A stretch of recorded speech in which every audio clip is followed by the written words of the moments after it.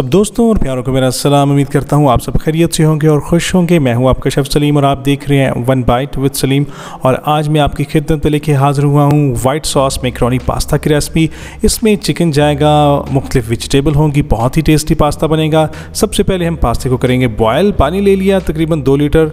उसमें डाल देंगे एक टी नमक और एक टेबल ऑयल और यहाँ पे हम शामिल कर देंगे 200 ग्राम मिक्रोनी पास्ता। किसी भी पास्ते से आप इस रेसिपी को बना सकते हैं, कोई प्रॉब्लम नहीं है। और पाँच से सात मिनट तक आपने पास्ते को बॉयल करना है और 90 परसेंट आपका पास्ता गला हुआ होना चाहिए। इससे ज़्यादा आपने इसको गलाना बिल्कुल नहीं है। और यहाँ पे पास्ता मेरा तकरीबन रेडी है। इसको हम निकाल लेंगे एक स्टेनर में और ठंडा करके ऑयल लगा के रख लेंगे। और नेक्स्ट स्टेप में आपने एक कढ़ाई में, एक सॉस पैन में ऑयल डाल दिया एक टीस्पून और इसमें चली जाएँगी वेजिटेबल।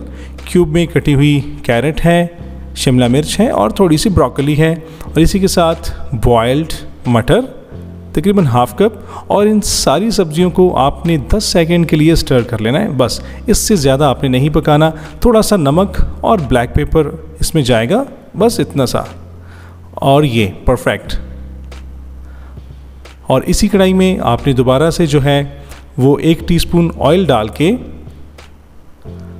इसमें शामिल कर देना है तकरीबन चॉप्ड लहसुन एक टीस्पून और इसको हल्का सा स्टर करने के साथ ही आपने इसमें शामिल कर देना है 200 ग्राम क्यूब में कटा हुआ चिकन बॉनलेस चिकन है मेरे पास। आप चाहें तो इसमें कीमा भी ऐड कर सकते हैं, वो आपकी अपनी मर्ज़ी है। इसको स्टर करेंगे, कोई पानी आपने नहीं डालना हाई फ्लेम पे आपने चिकन को पकाना है और अच्छा गोल्डन आपने कर लेना है इसको, बिल्कुल ये परफेक्ट और उसी कढ़ाई में थोड़ा सा डाल देंगे बटर तकरीबन 15 से 20 ग्राम, और इसमें दो टेबल स्पून जो है, वो चला जाएगा मैदा। और इसको आपने अच्छी तरह से यहाँ पे भूनना है इतना कि इसकी अच्छी सी खुशबू जो है, वो आना शुरू हो जाए। गोल्डन सा आपने इसको कर लेना है यहाँ पे, और फ्लेम आपका बिल्कुल यहाँ पे लो होगा, हाई फ्लेम पे अगर आपने किया तो आपका ये सारा मटेरियल फ़ौरन से पहले जल जाएगा।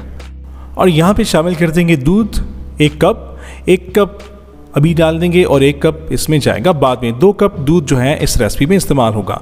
और यहाँ पे आपने इसको अच्छी तरह से मिक्स कर लेना है, ताकि इसमें कोई गुटली ना बने। एक अच्छी सी स्मूथ सी पेस्ट हमें चाहिए।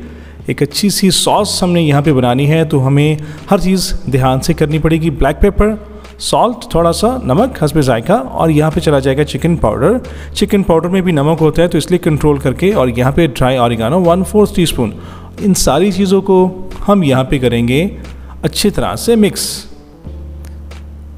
बिल्कुल इस तरह से। और इसके अंदर शामिल कर देंगे और दूध। जो बाकी बचा हुआ एक कप दूध था, वो भी हमने शामिल कर दिया यहाँ पे। और ये देखें, बहुत ही बेहतरीन सॉस यहाँ पे रेडी हो रही है वाइट सॉस और यहाँ पे मिल्क क्रीम ऑप्शनल है। आप डालना चाहें तो डाल दें दो टेबल स्पून और ये पास्ते का पानी जिसमें मैंने पास्ते को बॉयल किया था, वो डाल दिया। अच्छे टेस्ट और फ्लेवर के लिए और विक्स की मदद से यहाँ पे अच्छी तरह से हम करेंगे सॉस को मिक्स और सॉस आपकी यहाँ पे बिल्कुल रेडी है, बहुत ज़्यादा थिक नहीं होनी चाहिए और इसके अंदर शामिल कर देंगे स्टर किया हुआ चिकन और वेजिटेबल परफेक्ट और इसी के साथ दो अदद अंडे उनको फुल बॉयल करके क्यूब में काट के वो भी शामिल कर देंगे। यहाँ पे बहुत ही नेक्स्ट लेवल का पास्ता बनने जा रहा है और यहाँ पे मेकरोनी पास्ता जो हमने बॉयल करके रखा था, वो भी शामिल कर देंगे। और यहाँ पे मिक्स करेंगे इसको हल्के हाथ से। और देखिए कितना अच्छा कलर जो है वो पास्ते का लग रहा है। चिकन है पास्ता है वेजिटेबल है, बहुत ही टेस्टी बहुत ही मज़ेदार।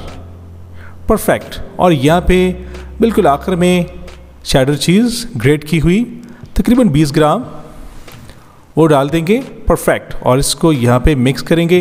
फ्लेम मैं यहाँ पे कर दूँगा अपना बिल्कुल बंद परफेक्ट आपने वेट नहीं करना, बिल्कुल गरम गरम ये पास्ता आपने सर्व करना है, ताकि खाने वाले को खूब अच्छा मज़ा आए और इन्जॉय कर सके। और पास्ते को निकालते हैं एक सर्विंग प्लेट में। और देखिए एक्स्ट्रा सॉस नहीं है सॉस आपकी पतली नहीं है, बहुत ज़्यादा पास्ता आपका थिक नहीं होना चाहिए। बस यही परफेक्ट एक रेसिपी होती है। और ये थी मेरी जनाब आज की वाइट सॉस मिक्रोनी पास्ता की रेसिपी जो उम्मीद करता हूँ आपको बहुत पसंद आएगी। अपने दोस्तों के साथ, प्यारों के साथ ज़रूर शेयर कर दिया करें। और चैनल पर नए हैं तो चैनल को भी सब्सक्राइब कर दें। मिलते हैं नेक्स्ट वीडियो में। अपना बहुत सारा ख्याल कीजिएगा। अल्लाह हाफिज़ो निगेबान।